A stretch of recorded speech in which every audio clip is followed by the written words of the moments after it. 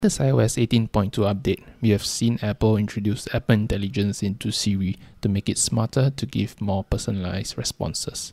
Let me show you how it can be done. So to invoke Siri, you can just press and hold the power button. So over here, instead of typing, you're going to speak to Siri to send your request over. But in my case, I will just go with type to Siri. So to do so, all you have to do is just tap on the bottom of the screen twice so I asked a series of questions that I thought would be interesting for you to see. So the first very simple one is more of a tutorial kind of question where we ask Siri how we can actually block someone from texting us. I think typically where you get this information from is either from Google or perhaps just trying to figure it out yourself in the messaging app. But in this case, because Siri has the ability to do so, to answer your question. So might as well we just ask Siri. So in this case, we have to be online. So I'll just turn the Wi-Fi on so that we can actually get those answers from Siri in this type of questions. So we just key in the uh, question again. So in the meantime, I just want to emphasize that there are many other tutorials kind of FAQ questions that you can ask Siri regarding your iPhone. So for example, how do you edit photos and etc. So in this case, let's see the response from Siri. So over here we have the step-by-step -step process and at the bottom actually quotes the iPhone user guide. So in this case, you can be assured that it is an official response from Siri in terms of uh, how you are going to block someone from texting you. So now let's head back. I will try something different this time around we'll get ChatGPT to generate an output for us. In order to do so, when you invoke Siri, you actually have to type something at the start to say that you are going to use ChatGPT so that Siri knows where to get the information from. So we'll get ChatGPT to give us some ideas on what to buy for our uncle's birthday gift. So once you are done, you can just uh, submit the text and Siri will head over to ChatGPT to get the response. So you can just provide more information. In this case, you are just letting it know that it's the 70th birthday so that it knows how to customize the gift for us. So after we send, we just wait a few moments for the response to load. And it should be out very quickly. And so we have the list of uh, gifts this time around. So experience gift, hobby related items. So overall, I think this is a very good feature you don't have this in the previous iterations of uh, Siri. And let me show you something interesting as well. So this is what we call in context chatting. So where Siri actually remembers previous messages and is able to give you uh, follow-up responses based on your inputs subsequently. So in this case, if we say he likes flowers, then Siri will recommend us customized flower arrangement, flower theme experience for the birthday gift. So far, the chatting experience with Siri has been a perfect one.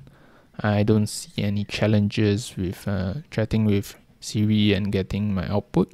So let us try something else. Instead of using ChatGPT for text generation, we are going to use it for image generation. So this time around, we'll get ChatGPT to generate a photo. So this is in comparison to the image playground that you have. So image playground, you might face some restrictions. I think when using ChatGPT, you have more freedom to do stuff. So in this case, we are using ChatGPT to generate a photo of a car gliding down the Pacific Ocean. So we'll see what kind of output Siri actually gives us. And let's just give it a few moments to let it load. So overall, it's not really gliding, but I, I like the photo so far.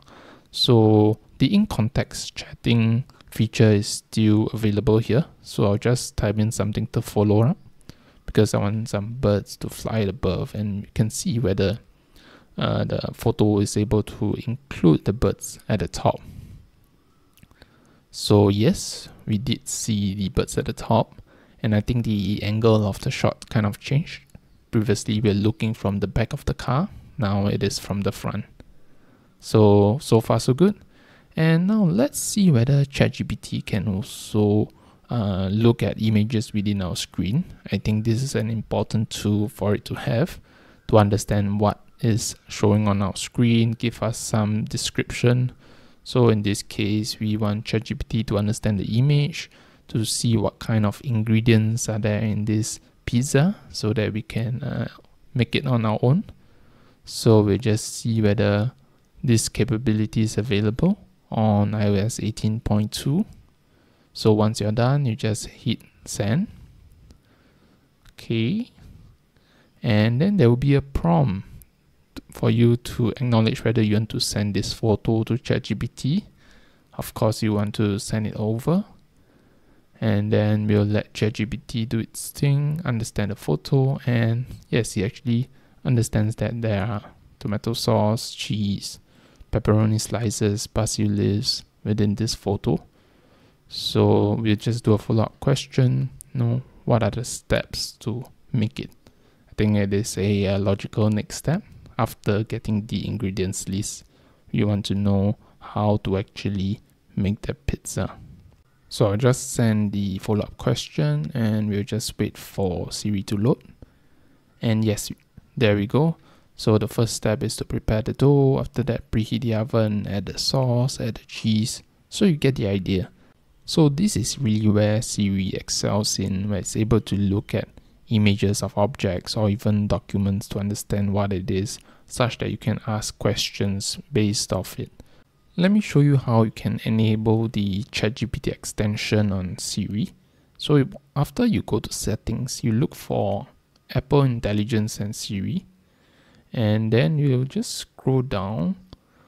You just find the ChatGPT extension. So over here we just tap on it and make sure it is uh, turned on. If you would like to sign in to use uh, more features you can do so. In my case i didn't sign. So i just use it as it is. So there is some daily limit. And at the bottom you can also confirm ChatGPT requests so I'll just head back and let me just show you something. You have to make sure that the update is at 18.2. So over here, because I didn't turn on my Wi-Fi, so we didn't have that. But in the about section, your iOS version should be at 18.2 in order for you to enable ChatGPT in Siri. So just make sure that you have updated your iPhone.